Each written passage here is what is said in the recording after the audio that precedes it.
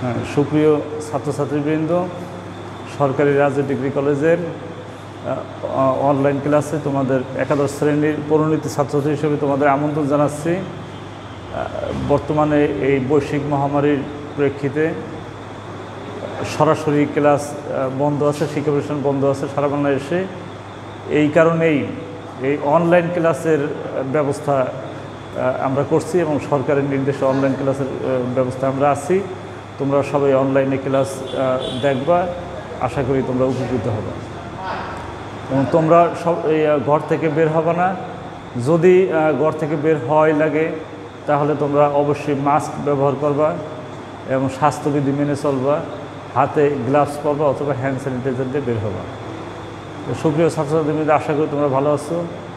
আমি তোমাদের পৌরনীতি ও সুশাসনের স্যার মোহাম্মদ মুজাম্মিল হক খান পৌরনীতি ও সুশাসনের প্রভাষক, সরকারি রাজা ডিগ্রি কলেজ রাজের মাদারী তাই আজকে আমরা আলোচনা করতে চাই তোমাদের পৌরনীতি বিষয়ে। পৌরনীতির আজকে প্রথম অধ্যায়। প্রথম অধ্যায়ে আমরা আলোচনা করব পৌরনীতি কি? পৌরনীতি বলতে আসলে আমরা কি বুঝি? পৌরনীতির ইংরেজি প্রতিশব্দ হলো সিভিক্স পৌরনীতির ইংরেজি প্রতিশব্দ হলো সিভিক্স পৌরনীতির ইংরেজি প্রতিশব্দ হলো সিভিক্স পৌরনীতির ইংরেজি প্রতিশব্দ হলো সিভিক্স। সিভিক শব্দটি ল্যাটিন শব্দ সিভিস ও সিভিটার শব্দ থেকে এসেছে। সিভিস শব্দের অর্থ যথাক্রমে নাগরিক এবং সিভিটার শব্দের অর্থ নগর রাষ্ট্র। সুতরাং উৎপত্তিগত অর্থে নগর রাষ্ট্রের অধিবাসী হিসাবে নাগরিকদের কার্যাবলী নিয়ে এবং নাগরিকদের সাথে জড়িত অতীত, বর্তমান, ভবিষ্যৎ স্থানীয় জাতীয় আন্তর্জাতিক বিষয় নিয়ে যে শাস্ত্র আলোচনা করে তাকে আমরা পরিণতি বলে আখ্যায়িত করতে পারি। এই পরিণতি সম্পর্কে বিভিন্ন বিজ্ঞানী বিভিন্ন সংজ্ঞা দিয়েছে যেমন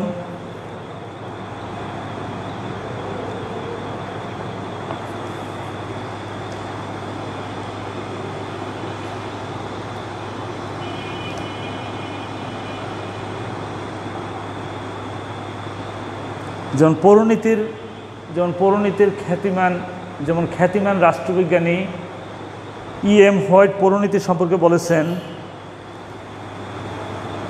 নাগরিকতার সাথে জড়িত স্থানীয় জাতীয় আন্তর্জাতিক অতীত, বর্তমান ও ভবিষ্যৎ সকল বিষয় নিয়ে যে শাস্ত্র আলোচনা করে, তাকে আমরা পৌরনীতি, তাকেই পৌরনীতি বলা হয়। এটা হলো অধ্যাপক ই এম হোয়াইট বলছেন। অর্থাৎ অর্থাৎ অধ্যাপক ই এম হোয়াইট বলতে চাচ্ছেন যে নাগরিক নাগরিক আসলো থেকে নাগরিকদের অতীত কী? এবং বর্তমান কী? এবং ভবিষ্যৎ কী? এবং নাগরিকদের স্থানীয় বিষয় কী? জাতীয় বিষয় কী? বা আন্তর্জাতিক বিষয় কী? এগুলো নিয়ে যে শাস্ত্র আলোচনা করে, তাকেই অধ্যাপক ই এম হোয়াইট পরিণতি বলে আখ্যায়িত করেছেন। তারপর ওয়েব স্টার্স ইন্টারন্যাশনাল ডিকশনারিতে পরিণতির সংজ্ঞায় বলা হয়েছে। পরিণতি হল রাষ্ট্রবিজ্ঞানের সেই শাখা যা নাগরিকের অধিকার ও কর্তব্য নিয়ে আলোচনা করে। অর্থাৎ ওয়েব স্টার্স ইন্টারন্যাশনাল ডিকশনারিতে বলা হয়েছে যে পরিণতি হলো রাষ্ট্রবিজ্ঞানের সেই শাখা যা নাগরিকদের অতীত ও বর্তমান সম্পর্কে অতীত, যা নাগরিকের অতীত, বর্তমান এবং অধিকার ও কর্তব্য সম্পর্কে আলোচনা করে তাই পরিণতি। তাহলে পরিশেষে, পরিণতি বলতে আমরা কি বুঝি? পরিণতির উৎপত্তিগত অর্থ, পরিণতি সম্পর্কে বিভিন্ন রাষ্ট্রবিজ্ঞানীর সংজ্ঞা এবং পরিশেষে পরিণতি সম্পর্কে আমরা আসলে কি বুঝি? তার পরিশেষে আমরা বলতে পারি যে পরিণতি হলো জ্ঞানের সেই শাখা, যা নাগরিকদের অতীত, যা নাগরিকদের অতীত, বর্তমান, ভবিষ্যৎ, স্থানীয় জাতীয় আন্তর্জাতিক আন্তর্জাতিক সকল বিষয় নিয়ে, অর্থাৎ নাগরিকতার সাথে জড়িত সকল বিষয় নিয়ে যে শাস্ত্র আলোচনা করে, তাকে আমরা পরিণতি বলে আখ্যায়িত করতে পারি। আশা করি তোমরা বুঝতে পারছ যে পৌরনীতি আসলে কি? তাহলে পৌরনীতির উৎপত্তিগত অর্থ হলো পৌরনীতির ইংরেজি প্রতি শব্দ হলো সিভিক্স সিভিক শব্দ ল্যাটিন শব্দ সিভিস ও সিভিটাস থেকে এসেছে।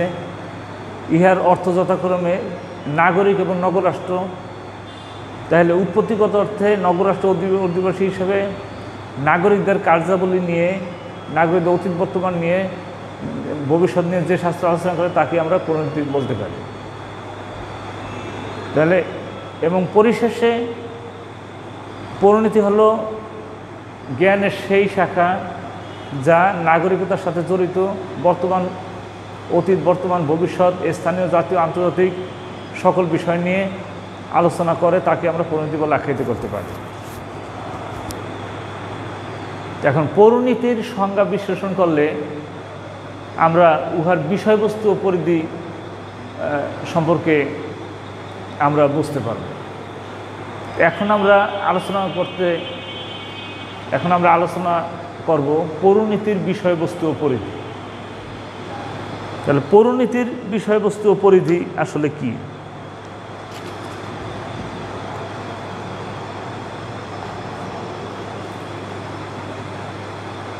পৌরনীতির বিষয়বস্তু ও পরিধি। পৌরনীতি কি কি বিষয় নিয়ে মূলত আলোচনা করে?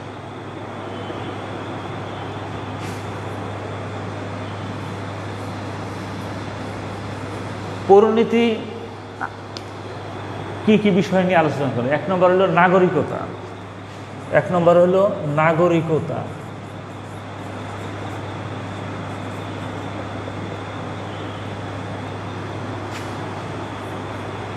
নাগরিকতা পৌরনীতি নাগরিকতা নিয়ে আলোচনা করে। নাগরিকতা কি?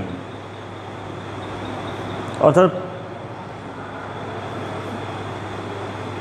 রাষ্ট্রে প্রত্যেক ব্যক্তির যে পদমর্যাদা, এটার নাম হচ্ছে নাগরিকতা। নাগরিক হিসাবে ব্যক্তির যে রাষ্ট্রের মধ্যে যে ব্যক্তির পদমর্যাদা থাকে, ওইটার নাম হচ্ছে নাগরিকতা। তাহলে এই নাগরিকতা কি? নাগরিকতার উৎপত্তি কীভাবে হলো এবং নাগরিকতার বর্তমান অবস্থা কি? নাগরিকতার ভবিষ্যৎ কি? এগুলো নিয়েই পরিণতি আলোচনা করে।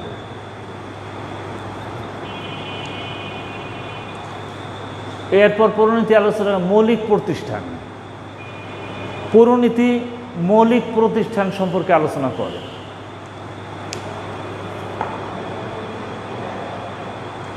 পৌরনীতি সমাজ, সামাজিক পরিবর্তন, সমাজের উৎপত্তি, ক্রম বিকাশ, রাষ্ট্রের উৎপত্তি ও বিকাশ, রাষ্ট্রের কার্যাবলী, জাতি, গোত্র, সম্প্রদায় ইত্যাদি মৌলিক প্রতিষ্ঠান নিয়ে পরিণতি আলোচনা করে।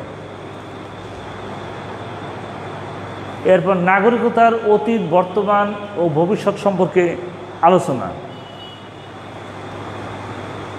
অর্থাৎ পৌরনীতির আরেকটি বিষয়বস্তু পরিধি হলো নাগরিকতার অতীত, বর্তমান ও ভবিষ্যৎ নিয়ে পর্যালোচনা।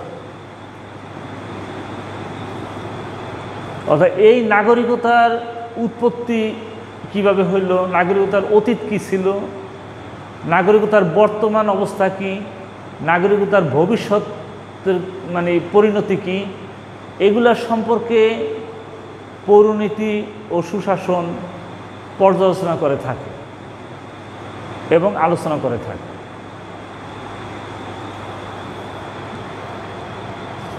তাহলে পৌরনীতির আরেকটি বিষয়বস্তু পরিধি হল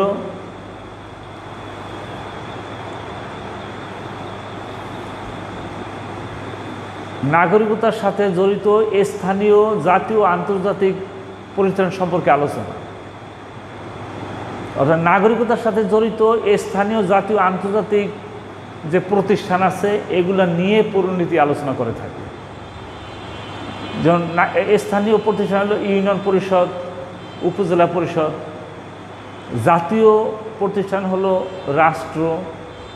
আন্তর্জাতিক প্রতিষ্ঠান হলো যে আন্তর্জাতিক বিভিন্ন সংগঠন। সংস্থা, এগুলো নিয়ে পরিণতি আলোচনা করে থাকে পরিণতি অসুসের আরেকটি বিষয়বস্তু হলো রাজনৈতিক প্রতিষ্ঠান নিয়ে পরিণতি আলোচনা করে থাকে।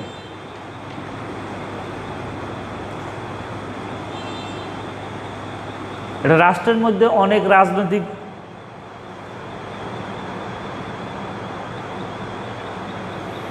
একটা রাষ্ট্রের মধ্যে অনেক রাজনৈতিক প্রতিষ্ঠান আছে, যেমন রাষ্ট্র, রাজনৈতিক দল এগুলো নিয়ে পরিণতি আলোচনা করে থাকে।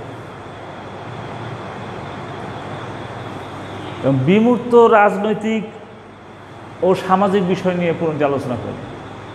বিমূর্ত সামাজিক ও রাজনৈতিক বিষয় আছে যেগুলো দেখা যায় না, এগুলো নিয়েও পরিণতি আলোচনা করে। যেমন স্বাধীনতা, মূল্যবোধ, নৈতিকতা, এগুলো নিয়ে পরিণতি আলোচনা করে। নাগরিকের অধিকার ও কর্তব্য নিয়েও পরিণতি আলোচনা করে।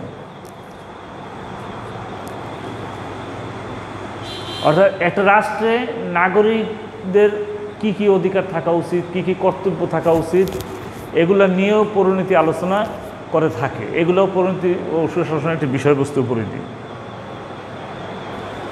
সাংবিধানিক অগ্রগতি নিয়ে পর্যালোচনা। অর্থাৎ একটা রাষ্ট্রে সংবিধান ছাড়া কোনো রাষ্ট্রই চলতে পারে না। এটা রাষ্ট্রের সংবিধান হলো রাষ্ট্রের প্রাণ। এই সংবিধানের বিভিন্ন সংশোধন, বিভিন্ন পরিবর্তন, বিভিন্ন অগ্রগতি, এগুলো নিয়েও পরিণতি আলোচনা করে থাকে। এরপর পরিণতি আরেকটি বিষয়বস্তু পরিণতি হলো রাজনৈতিক ঘটনাবলী। পরিণতি রাজনৈতিক ঘটনাবলী নিয়ে আলোচনা করে। যেমন উনিশশো পাঁচ সালে বঙ্গভঙ্গ, উনিশশো উনিশ সালে ভারত শাসন আইন উনিশশো পঁয়ত্রিশ সালে ভারত শাসন আইন, উনিশশো চল্লিশ সালে লাহোর প্রস্তাব, উনিশশো সালে ভাষা আন্দোলন, উনিশশো সালে যুক্তফ্রন্ট উনিশশো সালে ছয় দফা কর্মসূচি, উনসত্তর সালের গণ অভ্যুত্থান, সত্তরে নির্বাচন, একাত্তর সালে বাংলাদেশের স্বাধীনতা আন্দোলন এবং বাংলাদেশের স্বাধীনতা অর্জন, বাহাত্তর সালে বাংলাদেশের সংবিধান। এগুলা যে রাজনৈতিক ঘটনা বলে এবং ঘটনা প্রবাহ এগুলো নিয়েও পরিণতি আলোচনা করে থাকে। তো আশা করি তোমরা বুঝতে পারছ যে পরিণতি কাকে বলে, পরিণতির বিষয়বস্তু পরিধি এগুলা মোটামুটি আমি চেষ্টা করলাম বুঝাইতে। এবং তোমরা এটা সুন্দরভাবে বই দেখে এটা পড়াশোনা করবা এবং তোমরা আশা করি উপকৃত হবে এবং পরবর্তী ক্লাসে তোমাদের সাথে আমার সাক্ষাৎ হবে। তাই তোমরা ভালো থাকো, সাবধানে থেকো এবং স্বাস্থ্যবিধি মেনে চলো খুদা